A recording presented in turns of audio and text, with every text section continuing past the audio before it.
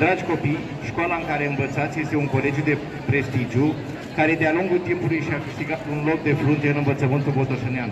A fi elev la Colegiul Mihai Eminescu reprezintă o onoare, dar și o mare responsabilitate. Onoarea de a fi printre cei mai buni și responsabilitatea de a fi la înălțimea exigențelor pentru a duce mai departe renumele acestui colegiu. Județul Botoșan se mândrește cu școala în care învățați.